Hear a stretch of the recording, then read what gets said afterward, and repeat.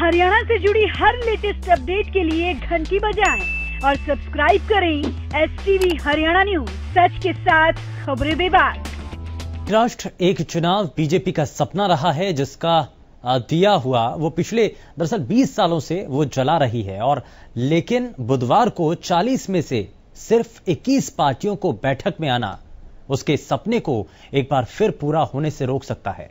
और गुरुवार को खुद चुनाव आयोग के इस पर असमंजस जताने के बाद बीजेपी को भी लग रहा होगा कि अब आखिर क्या करें।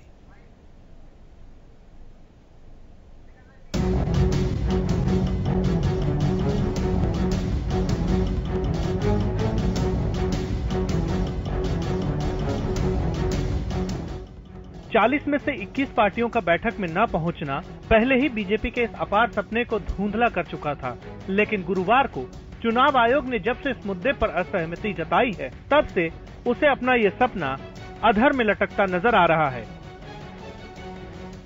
बुधवार को हुई बैठक में पहले ही कई बड़ी क्षेत्रीय पार्टियाँ नहीं पहुँची, लेकिन सूत्रों के अनुसार ये पता चला है कि आयोग भी अब इस बात पर सरकार से सहमति नहीं जता पा रहा है।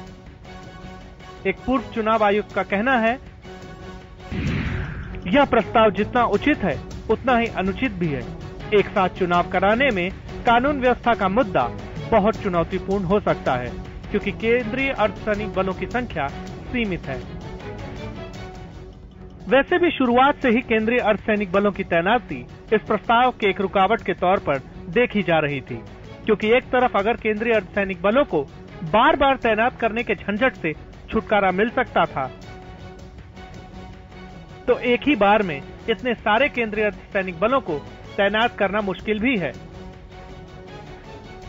क्योंकि चुनाव में सुरक्षा एक अहम मुद्दा होता है, ऐसे में आयोग एक ही बार में इतने सारे सैनिकों की तैनाती करने को लेकर असमंजस जता रहा है।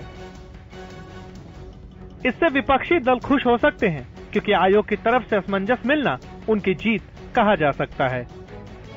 ऐसे कि संविधान पे कितना हमला करने की कोशिश की है? वो तो कर नहीं पाए।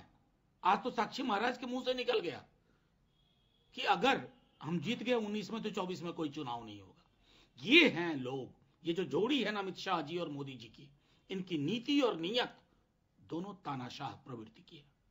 और भीमा खोड़े गाँव मीडिया का एक वर्ग कुछ भी कहे वह स्मृति की लड़ाई है। और स्मृति की लड़ाई में अगर बहुजन स्मृति को आप कुचलने की कोशिश करेंगे ना ये उचित नहीं है। बहुजन आबादी सड़कों पे आएगी कोहराम मचा के रख देगी। क्या रोहित बेमुला नहीं हुआ क्या इस मुल्क में? हमने रोहित बेमुला को खोया है। वो काल सगन की तरह बनना चाहता था। क्या हुआ उसके मसले पर? सहारनपुर हुआ। हमने वो भी देखा। कितनी बात कहें? हज़ारों हैं शिकवे। कहाँ तक सुनाऊं? कहाँ तक गिनाऊं? पहले विपक्षी दल और अब चुनाव आयोग।